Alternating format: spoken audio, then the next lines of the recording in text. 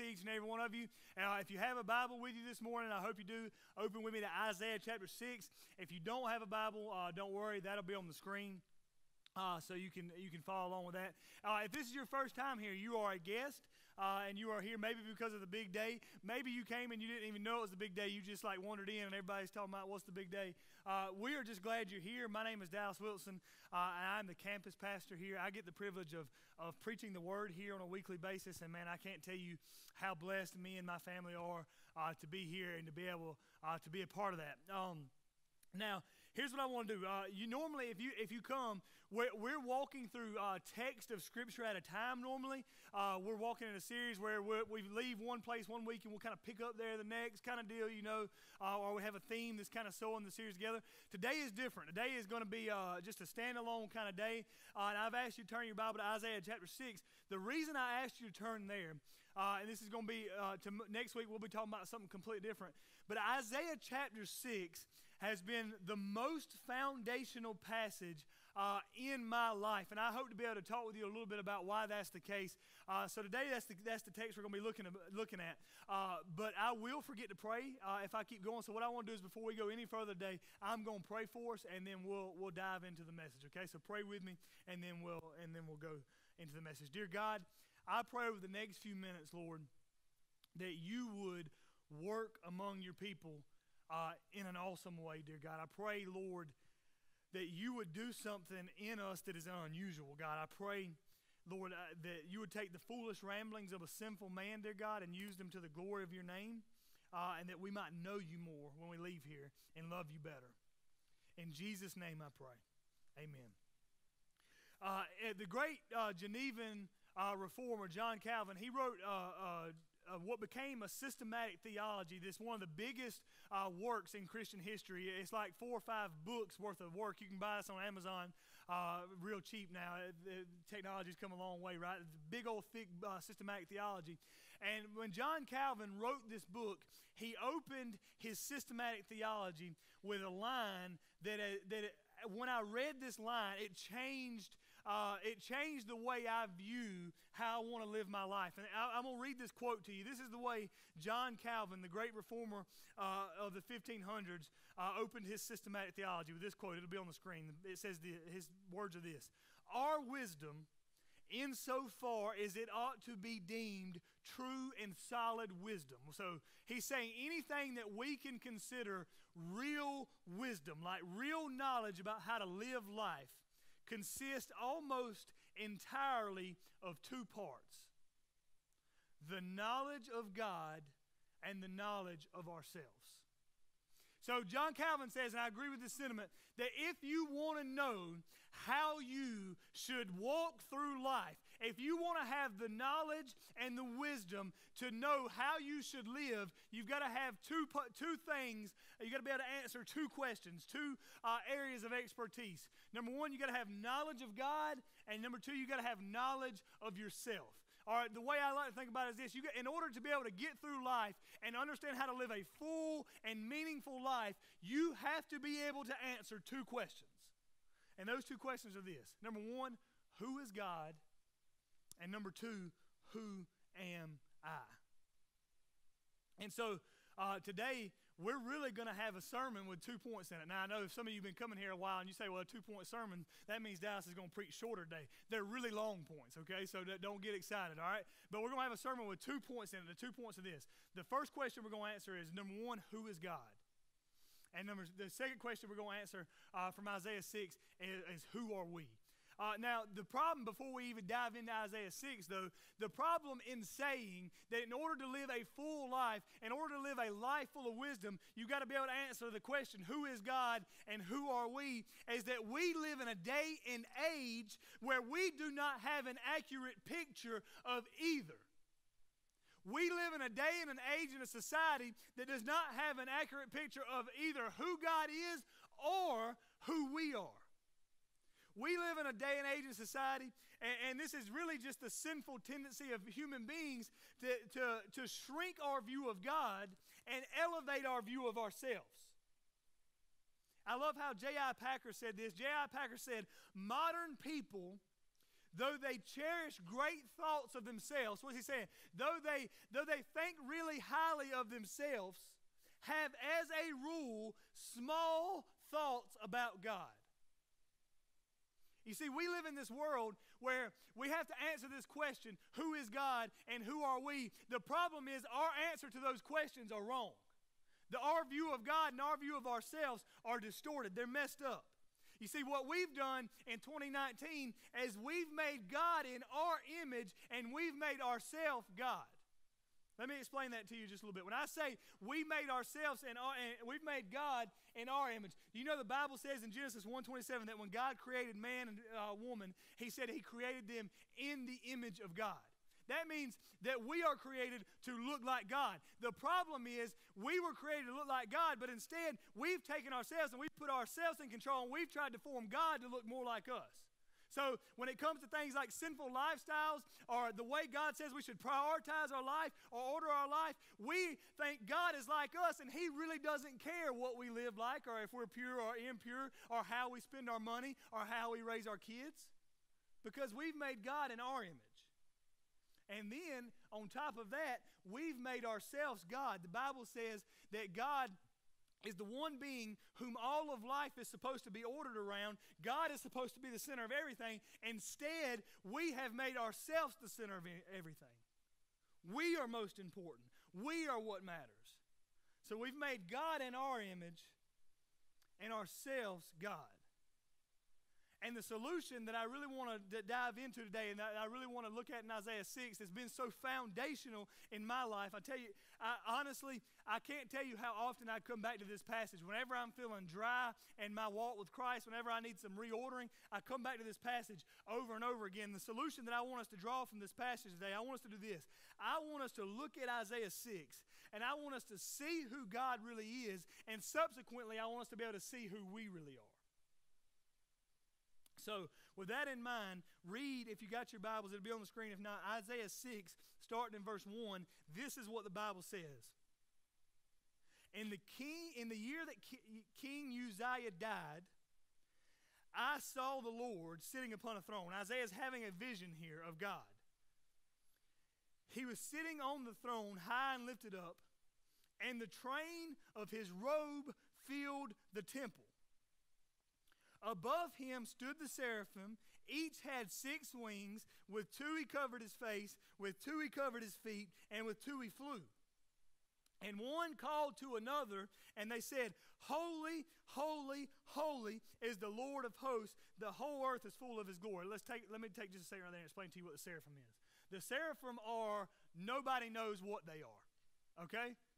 So literally, if you if you take every Bible scholar in the world and you look at what they have to say on Isaiah chapter six, all of them are going to have different answers as to what the seraphim actually are. The only thing we can actually equate them to is the, the seraphim are some kind of angel. Okay, they are some kind of being that exists in heaven for the worship of God. Verse four. And the foundations of the threshold shook at the voice of him who called, and the house was filled with smoke. So notice what's kind of going on here. Isaiah has had a vision of God sitting on a throne. And God, while he is sitting on the throne, there are angels worshiping him at all times.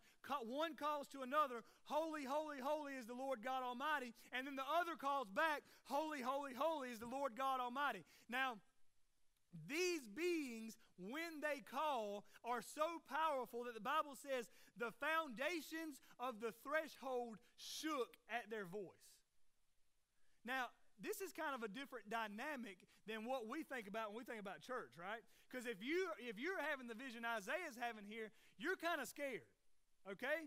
But when we think about church, we're going, man, it's warm and bubbly and light. We want the feels right, and how, I'm just blessed and glad to be here and smiles all around, right? That's not the image we have going on here in Isaiah chapter 6.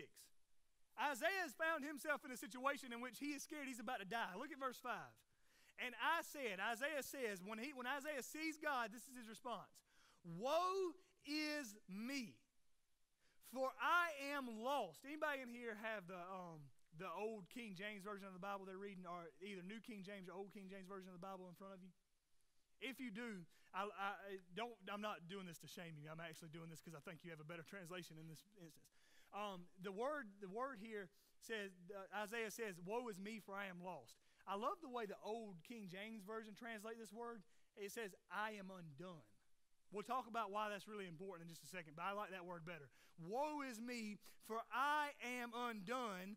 Look what he says I am a man of unclean lips, and I dwell in the midst of a people of unclean lips. I'm a sinner, and everybody else around me is a sinner too. For my eyes have seen the King, the Lord of hosts. What's he saying? Woe is me. He's scared he's about to die right here. He says, Woe is me, I'm a sinner, and my eyes have seen God. Verse 6 Then one of the seraphim, one of the angels, flew to me, having in his hand a burning coal that he had taken with tongs from the altar. Verse 7 And he touched my mouth and said, Behold, this has touched your lips. Your guilt is taken away, and your sin is atoned for. Here's what I want us to do is I want us to walk through this text and I want us to answer two questions. The first question I want us to answer is who is God? And the second I want us to answer is who are we? All right, so let's let's walk through this and I'll explain to you as we go why this is so important that we answer these questions. So Isaiah here has a good view to be able to answer this question. The qu- first question we're going to answer is who is God? Isaiah here has the ability to answer this question because Isaiah is seeing God face to face here, okay? So we're going, I don't, here's the thing, I don't take this personally. I don't want to know what you think about God, okay? Because you may have an awesome quiet time, you may pray and read your Bible, and you may say God speaks to you, okay? I want to know what Isaiah says God is because Isaiah actually saw God here. So what's that, what does Isaiah, Isaiah how does Isaiah answer this question, who is God? Here's the first thing I want you to see. If you're taking notes, there's going to be quite a few of these, so you can write them down. You don't have to, but uh, we're going to talk about who God is. The first thing I want you to know about God is this God is alive. God is alive. Look at how this Bible, how the passage starts in Isaiah 6 1.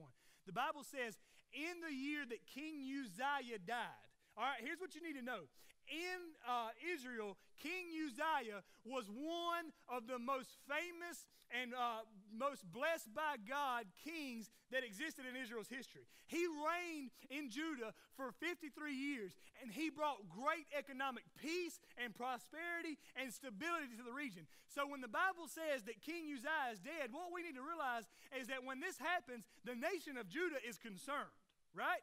They're, they are worried because the king who has just brought them peace and prosperity is dead, and now they're wondering what they're going to do. But notice what Isaiah says.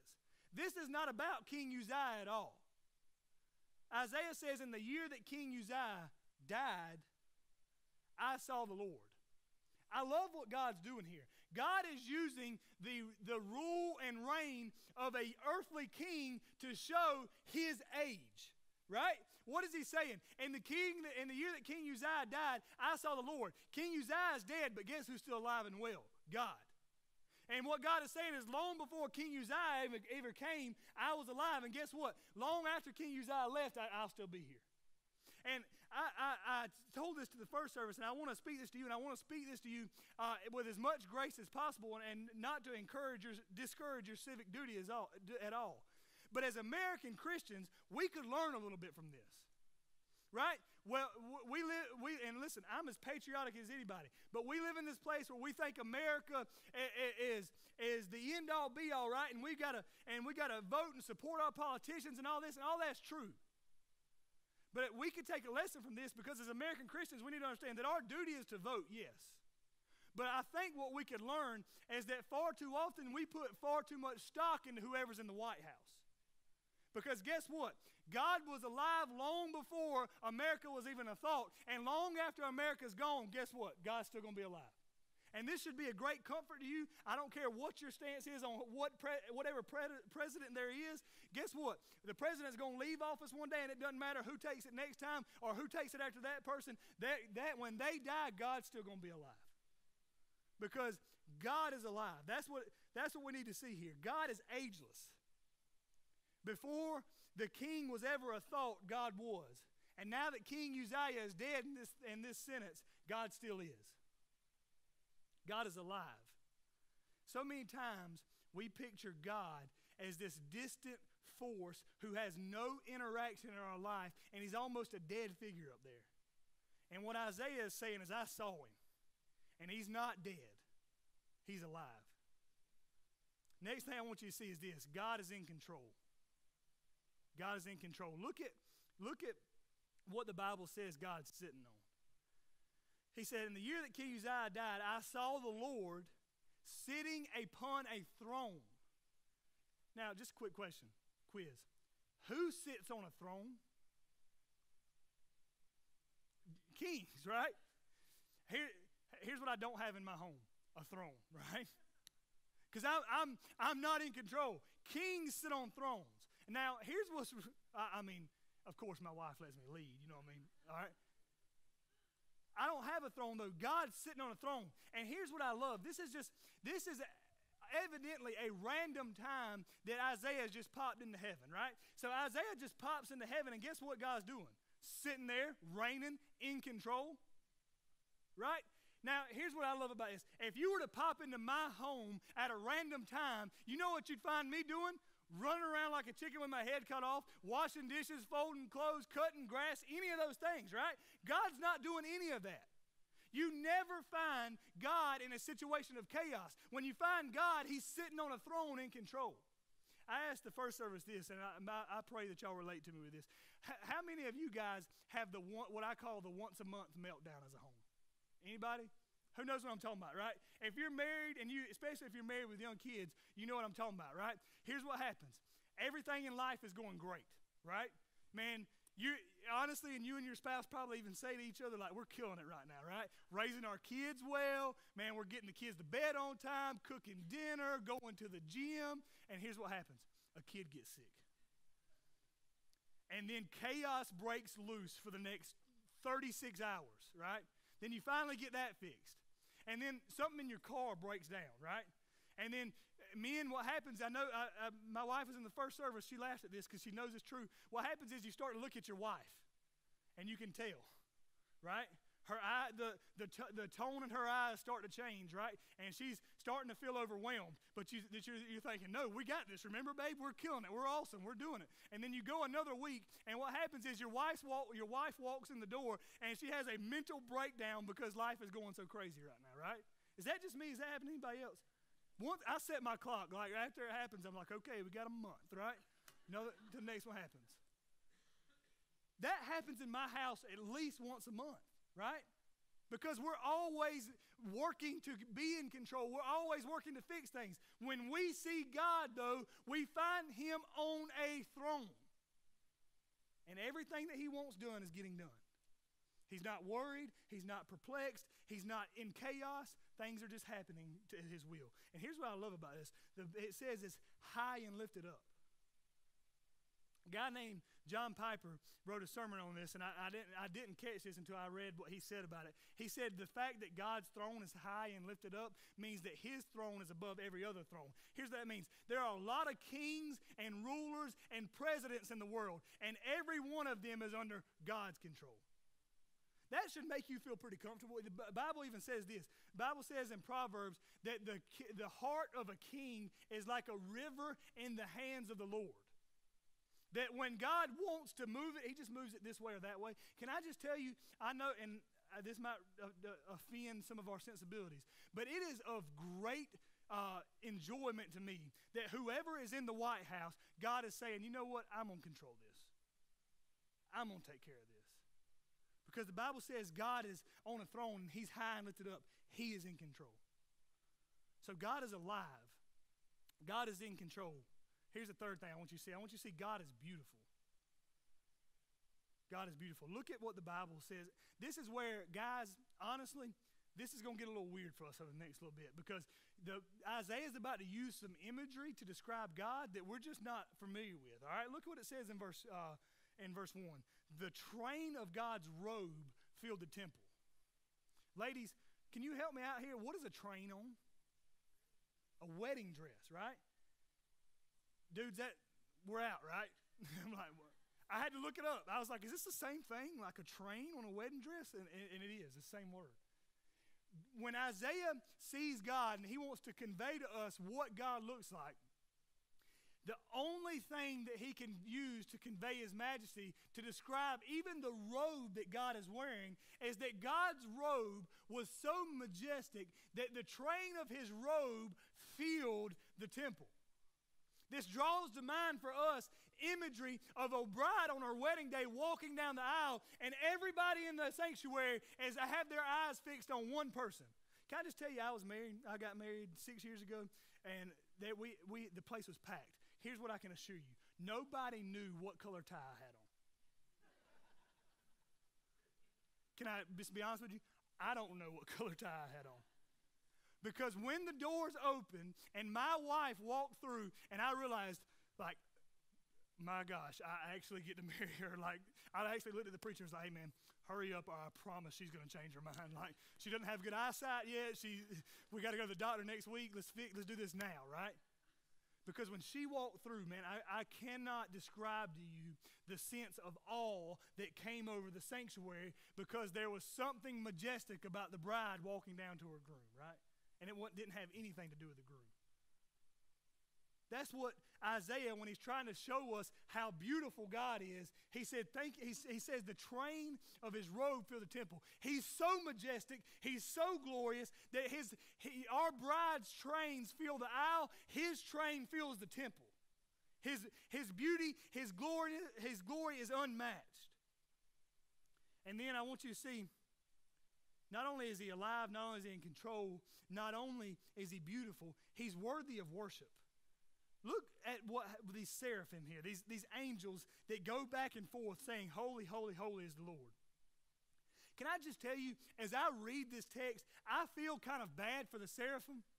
I almost think these guys got the short end of the stick when they were drawing straws to see who did what job in heaven, right? I mean, think about it. You got guys that are, you got angels that are guarding the gates of heaven, probably. You got angels that are showing new, new people around heaven. And then you got these angels who are just going back and forth all day long saying the same thing over and over and over again. Holy, holy, holy. Holy, holy, holy. And, but here's what's amazing. These angels never grow tired of looking at and worshiping God. When they see God, they think they've got the best job in heaven because this is what they were created for to look at God in all of His glory and say, Look at Him, He is great. The earth is filled with His glory. Holy, holy, holy. They never grow tired of it. They never want a new experience because each moment looking at God is better than the last. But yet we come in here on Sunday morning, and listen, I love you guys, but I love that I get to see all of you, right? So I see some of us are scrolling through Facebook, right? I stand in the back when we worship sometimes and see some of this is really the guys. Ladies, y'all don't do this. I see the guys breathe heavy, you know, look around. They might throw their hand up, they put it back down really quick though because they don't want anybody to see them. We come in here and we have such a hard time even opening our mouths to contribute to the lyrics of the songs that we're singing. These angels worship all day long. We struggle to do it for an hour. I can't help but think sometimes that the reason we struggle so much with worship is because we have yet to realize who we are worshiping. This God is worthy of worship. So much so that there are beings created in heaven who sing of his praises all day long. Then the last thing I want you to see about God is this God is holy. Look at what the Bible says in 6 3. One called to another and said, Holy, holy, holy is the Lord of hosts. You know, this is the only uh, threefold superlative in Scripture.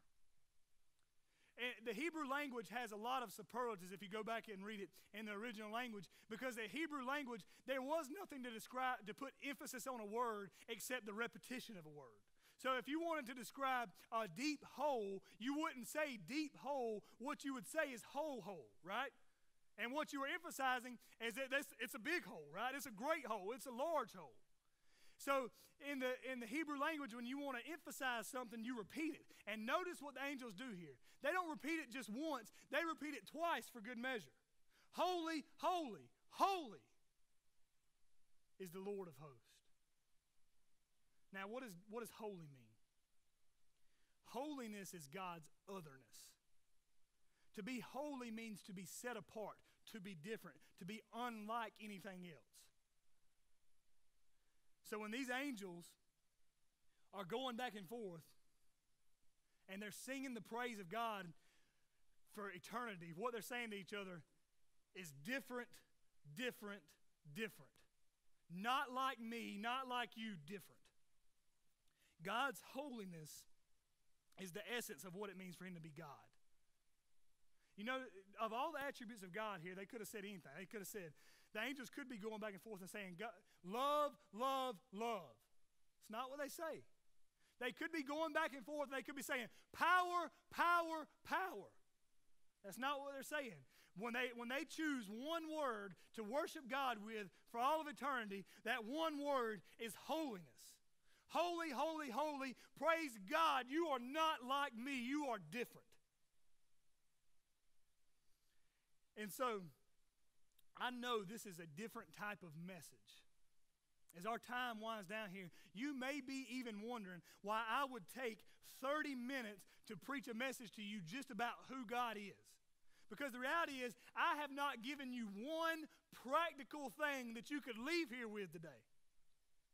If you, were, if you came here hoping to get like five tips today to, to improve your marriage, like you're leaving mad, right? You're like, this dude just preached on who God was for 30 minutes and hadn't tell me anything about how to fix my marriage.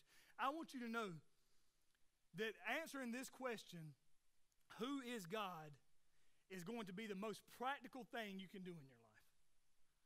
I want, I, I, I want you to hear what I'm about to say. How you see God determines everything in your life. I'm going to repeat that just so you, you can, because oh, I'm going to give you a couple illustrations, but I want you to know. How you see God determines everything in your life. How you see God determines how you handle the news of the diagnosis that you didn't want to get. So the doctor walks in, says, I'm sorry to tell you this, but it's cancer, and it's worse than we thought. In that moment, how you see God determines your response. Real practical. How you see God determines how you argue with your spouse. Can I just tell you, and listen, some of y'all are like, he talks about his wife a lot. She was in here in the first service, I promise. She, she heard it. If she, she may get mad at me later, but I really doubt it. Um, how you see God determines how you argue with your spouse. Can I just tell you, there have been so many times me and Jenna are bickering back and forth, and the thought of who God is comes into my mind. And there's something on my tongue that I just, I want to say it. I, and, right? And, but when I realize who God is, it affects how I argue with my spouse. How you view God determines how you wake up in the morning and how you go to bed. How you view God determines how you raise your children and how you love your coworkers. How you view God is the most important thing about you. I love Tozer says it this way what comes into our minds when we think about God is the most important thing about us. Because here's why you will never rise above how you view God. You will never love someone more than you view your view of God as love. You will never kill sin more than you think God is holy. You will never be nicer to a coworker more than you realize God has been kind to you. How you see God determines everything in your life. Which leads us to the second question. This is what I'm going to close with. Who are we? So, if that's who God is, who are we? Look at verse 5. When Isaiah sees God, he answers the question for us of who are we? Verse 5, he says this Woe is me, for I am lost, for I am a man of unclean lips. The answer to the question, most fundamentally, of who are we, uh, who am I, is this We are, I am a sinner. We are sinful. Notice what happens here when Isaiah sees God. He has seen God face to face, and in contrast with what he sees about God, what he thinks about God, the only thing he can respond with is God is holy and I am sinful. I'm about to die. Because once you have seen the holiness of God, you realize how sinful you actually are. And look, look what Isaiah says he is sin- where he is most sinful. What's he say? I am a man of unclean lips. Let me explain to you why it's really important. Isaiah was a prophet. The most valuable thing Isaiah had to offer were his lips. It's like it's equivalent of me being a preacher here today. The most valuable thing I can offer God right now is this, is this voice. If I were to go mute, literally I don't have anything else to offer God in this moment, right? Somebody else had to come up, look at the notes, try to make sense of it, and finish it out. But Isaiah says his most valuable thing before God, he says, it is unclean. He says, the best I have to offer you, God, is unclean. When we realize who God is and how powerful He is and how holy He is, we realize that our best deeds before God's righteousness are like filthy rags. He says, The best I have to offer is unclean. And notice his response I am lost. I told you guys that I like the word better of undone. And it gives a better sense of what Isaiah is actually trying to convey here. The Hebrew word for I am lost, I am undone, it conveys a sense of falling apart. It conveys a sense of literally you are here, but you are having a psychological breakdown. You are literally falling apart in front of somebody. Anybody ever seen the, uh, the Avengers movies, in, the Infinity War, uh, Endgame? Yeah? No? All right, if you hadn't seen it, new church down the road, go, no, I'm just kidding. But if you've seen if you've seen Avengers, there's this part at the end of the movie, right, where they've been trying to catch up to Thanos the whole time, right? And uh, Thor comes down, right, and he hits him with the axe, but that, he didn't he didn't chop off his hand, right? And so when he snaps his finger, what happens? these people begin to, to fall apart. These people begin to disintegrate. When Isaiah sees God, his response to the holiness of God is that that I am about to fall apart because I am sinful, dear God, and you are holy. So that I hate to be the bearer of bad news, but since I'm up here and I'm the preacher, I just want to tell you, you are no better off than Isaiah. Before the holiness of God, the best that you can bring before him is filthy rags. And I just can't help but wonder have you ever had the time in your life where you've looked at God and you've been broken over your sin like Isaiah is here? That you look at God and you say, God, before you, I am nothing and I deserve to die. Can I just tell you, if you have never had that moment, then you've never actually seen God. Because once we see God, that's the response. So we are sinful. The second thing I want you to see about who we are is this we are sinful, but praise God, we can be forgiven. Look what happens in verse 6 through 7. Then one of the seraphim flew to me, having in his hand a burning coal that he had taken with tongs from the altar. This is the first moment in the whole story that we see one of the angels start doing something other than worship. At God's direction, they go down to the altar and they grab a coal from the altar. And verse 7 says, He touched my mouth with it and said, Behold, this has touched your lips. Your guilt is taken away and your sin is atoned for. Now, uh, you got to understand a little bit here about what's going on with the deal with the altar and whatnot and all that. There is no such thing as free forgiveness. Forgiveness is going to always cost somebody something. Since the beginning of the fall, when Adam and Eve sinned in the garden, forgiveness has always cost something because there, when there is sin, because God is a just God and a fair God, someone must pay for the sin. However, God, being rich in mercy, said and made a deal that instead of us paying for the sin that we deserve, he would take our punishment and place it on someone else. So in the Old Testament, we have this idea of offering sacrifices on the altar, right?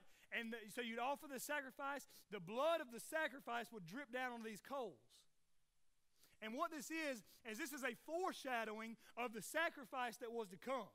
That in the Old Testament, you could sacrifice an animal, and that blood would be the, the blood of the sacrifice would be your forgiveness. In the New Testament, we understand that Jesus Christ Himself has come to be the sacrifice, and in His blood, sin has been atoned for once and for all if we believe.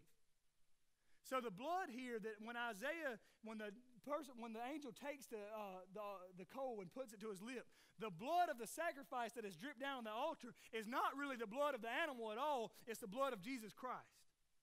And here's what we need to know. Here's what I want you to know. You are in the same sinful situation that Isaiah found himself in. But you can have the same blood from the same sacrifice atone for your sins like Isaiah had his sins atoned for. You can be forgiven. All that you have to do is, like Isaiah, recognize your brokenness and call out for the blood. So praise God. We are sinful, but we can be forgiven. Here's the last thing I want you to see we have a purpose. Look with me at verse 8. We didn't read this just a second ago. So Isaiah now has realized that he is sinful. He has realized that he can be forgiven. And now God calls out and he says, And I heard the voice of the Lord saying, Whom shall I send and who will go for us? So now, after all this is done, God literally calls out over heaven and he says, I have a job that needs to be done. And Isaiah's response is like that of a fourth grade child once their teacher has asked a question, right? You can just see Isaiah in the crowd. He's just, God, me. The one who you just forgave. God, me. Right? That's Isaiah's response here. Look what he says Here am I, send me. Isaiah has gone from woe is me to here am I. And here's what I need you to know God is like a hurricane of grace towards us. When God calls us out and calls us in to forgive us, He never calls us out without sending us out. Because if we are sinful, but we are forgiven, we have a purpose. And that purpose is to go into the world and make the name and the glory of Jesus Christ above all. Because if you have experienced the grace of God and forgiveness of your sins, you cannot help but want to lavish the grace of God on others. And so, listen, I know this is not your typical sermon today. I know looking at these two questions, who am I, who is God, it's way different than what we normally do. But here's what I want to do I want to offer you a chance to respond to it. And maybe in hearing something different, God's just pricked your heart. So I, if we can do something a little bit different, I want to ask you would you bow your head with me and we're going to pray for a few minutes? And I, I just want to offer you a chance to pray. Everybody, uh, all, all eyes closed, every head bowed. The worship band's going to go ahead and make their way up on stage while I'm doing this. You just ignore them. They're, they're not going to distract you right now. If every head's bowed, every eye's closed, I want to offer you a couple things. Number one, maybe you're here this morning and you are like Isaiah.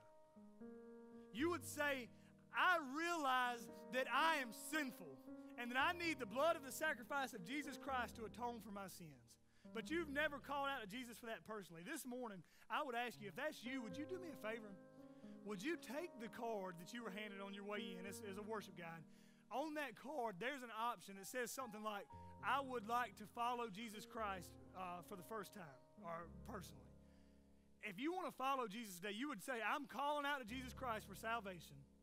I'm calling out to Him to, to forgive me of my sins, would you fill that card out with your information and check that box and turn it into one of our host team members and give me an opportunity to follow up with you? I would love to be able to tell you and, and, and pray with you about how you can follow Christ.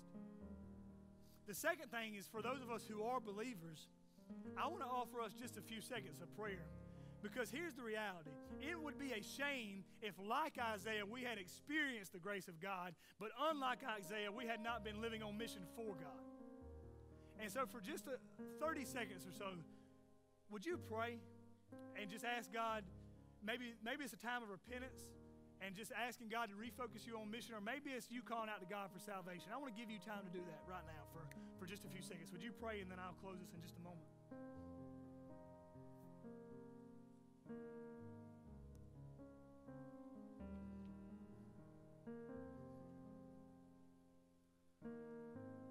God, you are Lord above all, King of the universe, high and lifted up on your throne.